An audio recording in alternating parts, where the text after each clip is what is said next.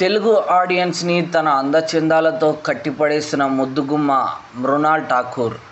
మృణాల్ ఠాకూర్ గురించి ప్రత్యేకంగా చెప్పాల్సిన పని లేదు. హను రాఘవపూడి దర్శకత్వంలో వైజయంతి మూవీస్ బ్యానర్పై తెరకెక్కిన చిత్రం సీతారామం. ఈ సినిమాలో కట్టుబొట్టుతో అందరినీ ఆకట్టుకున్న ఈ ముద్దుగుమ్మ తెలుగు ఆడియన్స్కి ఫేవరెట్ హీరోయిన్ అయిపోయింది. ఆ తర్వాత పలు చిత్రాలలో అవకాశాన్ని దక్కించుకొని పర్వాలేదు అనిపించుకుంది. అయితే సీతారామం సినిమాతో ఈమెకు అందిన క్రేజ్ మరే సినిమాకు అందలేదని చెప్పడంలో సందేహం లేదు.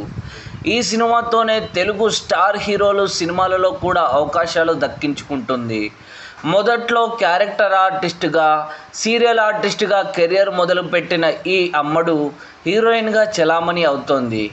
మరి ఇంత అందంగా అందరినీ ఆకట్టుకోవడానికి గల కారణం ఆమె డైట్ సీక్రెట్ అని సమాచారం.